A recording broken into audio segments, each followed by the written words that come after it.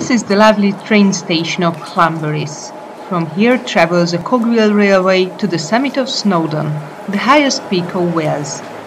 Places are limited, so one has to reserve tickets in advance. We expected much better, but as you can see, we are not fully blessed with sunshine here now in North Wales, but well, we already booked our tickets, so we will go up and uh, hope for better weather. So this is the place queue. They have several services a day on, on the mountain up, and uh, we will go soon.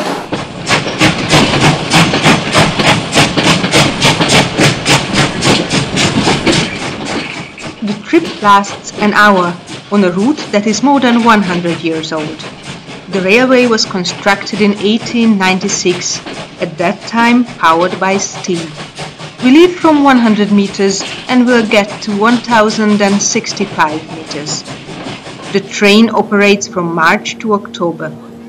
Interesting fact four years ago it was used to rescue a teenage girl as the weather was so bad that helicopters couldn't land on the summit.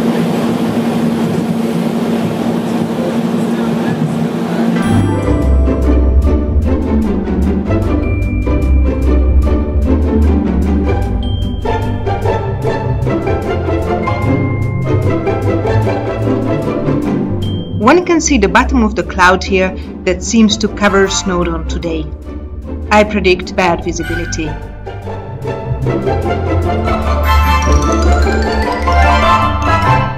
We are probably at two-thirds of the height and the weather has completely turned into foggy, so I wonder what we will see from the top.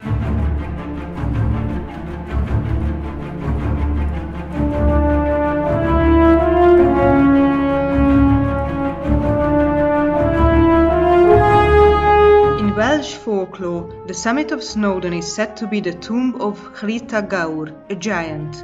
This is probably the reason for the Welsh name, which means burial mound. Llita Gaur wore a cloak made of men's beards, and he wanted to take King Arthur's beard. That's fairly bizarre. But King Arthur is not legendary for nothing. He killed the giant. There will be other sites with Arthurian connections on our road. We are here at the summit. We can absolutely not see anything because it's so foggy, but we found a postcard, so this is what we are supposed to see. So we, we try to imagine how it looks. But we will buy a postcard and you can actually mail it from here and they put a snow stamp on it. So we'll do that. It looks like yeah, a hut when you go to ski. It's very busy, very warm here. There are toilet facilities you can eat. And uh, actually, I think it's also a good idea to come up walking and then wait for a train to go down because trains are quite frequent. There is a train every half an hour, so you can wait here in the warmth uh, to go down. You can eat some nice food hot chocolate. So now we are making our way to the summit, which will be a five minute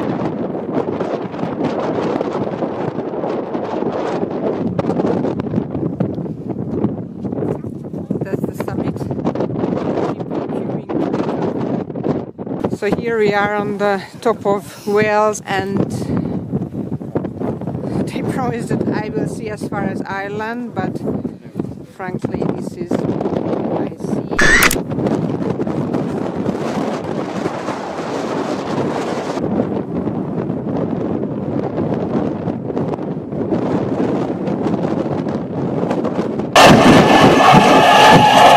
I envy those people who are in the train And this weather seems typical. 89 years ago, a girl named Margaret must have felt the same way. I've never felt so cold in my life. And it was almost on the same day of the year, in July.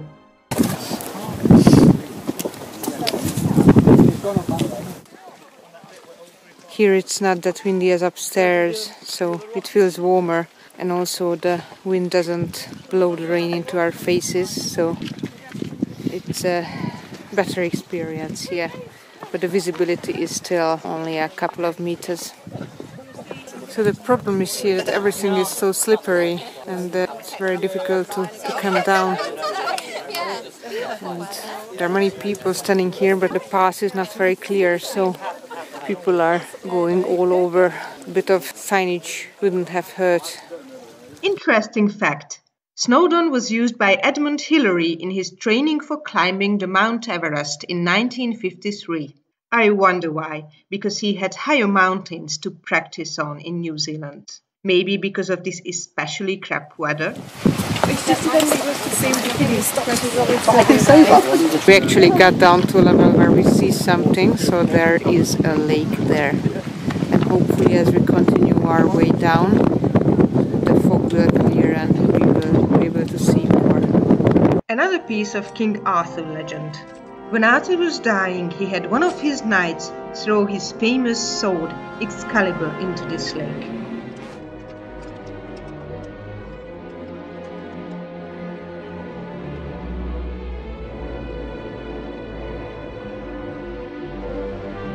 The Lady of the Lake took it.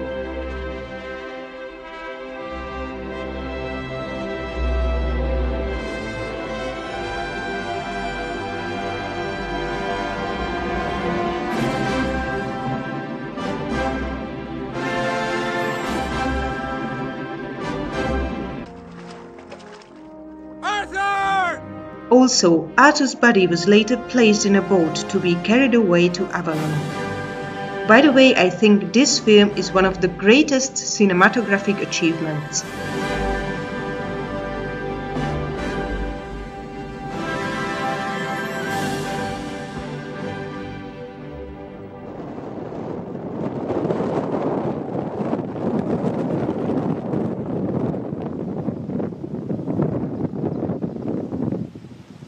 Already come to the area where cloud is, so here the visibility will be much better. But actually, if, if I would do again, uh, probably I would uh, have an accommodation close to Snowdon for a couple of days and wait for a good day with sunshine and I would climb up and uh, probably I would wait upstairs at the station for a standby ticket to come down by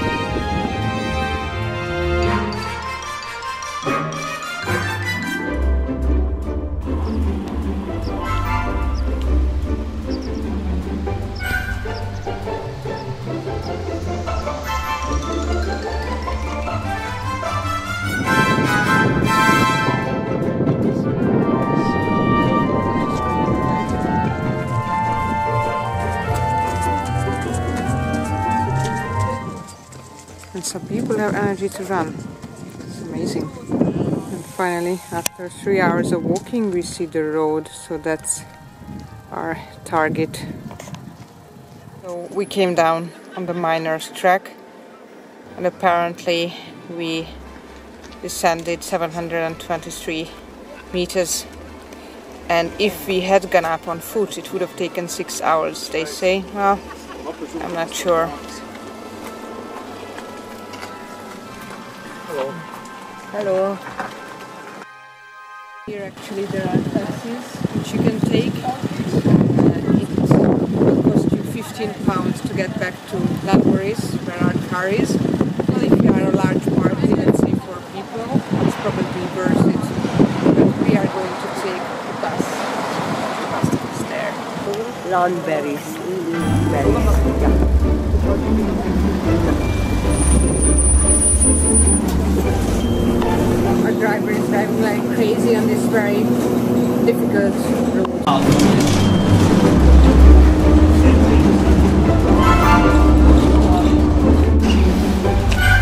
So back to the car. Ooh, this will be good to sit down. And we left at 11 o'clock now it's 5 o'clock, so altogether it took us 6 hours to go up by train and come down by come down on foot and uh, come back to here by bus. Luckily I bought a parking ticket for 8 hours, so we are all set. Let's go home.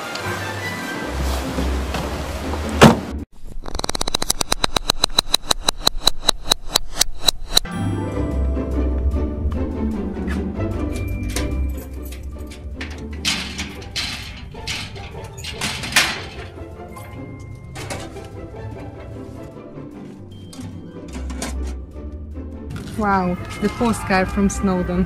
It really invokes nice memories.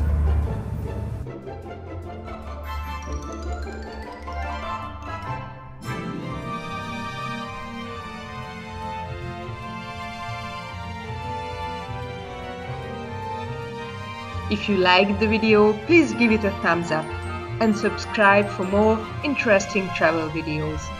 I will keep uploading videos of my last fantastic Wales trip. While I was shooting the postcard scene, the cat decided to make the tripod her new home. See a macska! Hello! Doesn't really care.